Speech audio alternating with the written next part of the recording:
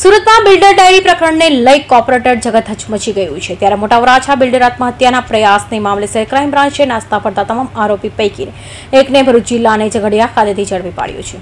સુરત શહેરના મોટા ગજાના બિલ્ડર લોબી સાથે કોર્પોરેટર જગત હચમચી ગયું છે. કરોડો રૂપિયાના ડાયરી વ્યવહાર પ્રકરણને મામલે શહેરમાં વ્યાપક ચર્ચાઓ થઈ રહી છે.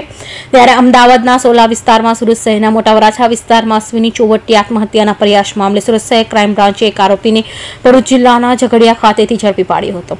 આ કરોડોના હેરાફેરી છેતરપિંડીના મામલે અગાઉથી સ્પેશિયલ ઇન્સ્ટિગેશન ટીમનું ગઠન કરી દેવાયું છે. ત્યારે ઝડપાયેલા આરોપી એવા રજની કાબરિયાનું નામ બિલ્ડર પ્રકાશે લિંબાચિયા બત્રીસ પોઈન્ટ એકસઠ કરોડના છેતરપિંડીના મામલે પણ પોલીસ ચોપડે નોંધવા પામ્યું છે. ત્યારે એસઆઈટીના સમક્ષ ધોરણે ઘણા મોટા પ્રમાણમાં ખુલાસા સામે આવે તો નવાઈ નહીં. બીજી તરફ અશ્વિન ચોવટિયા દ્વારા પોતાના પાસે રહેલા કરોડો રૂપિયાના વ્યવહાર સાથેની ડાયરી ક્રાઇમ બ્રાન્ચે એસઆઈટીને આપી દેવાઈ છે. એસઆઈટી દ્વારા સદર રજિસ્ટ્રાર કચેરીમાં પણ તપાસ શરૂ થઈ હોવાની વિગતો મળી રહી છે. કેસમાં ક્રાઇમ બ્રાન્ચના સ્પેશિયલ ટીમે અત્યાર સુધીમાં બિલ્ડર જયંતિ બાબરિયા વેસોના બિલ્ડર ગડ્ડુ પોદાર સહિતના અન્ય છ બિલ્ડરો સાથેની ડાયરી સાથેના નાણાકીય વ્યવહારોની તપાસ ચાલી રહી છે. ત્યારે ચર્ચાસ્પદ કેસમાં રજની કાવરી અને ક્રાઇમ બ્રાન્ચની એસઆઈટી દ્વારા કોર્ટમાં રજૂ કરીને તેના રિમાન્ડ માંગવાની તજવીજ હાથ ધરાઈ હોવાના સૂત્રો પાસેથી જાણવા મળ્યું છે. Bureau report, Hind TV news Surat.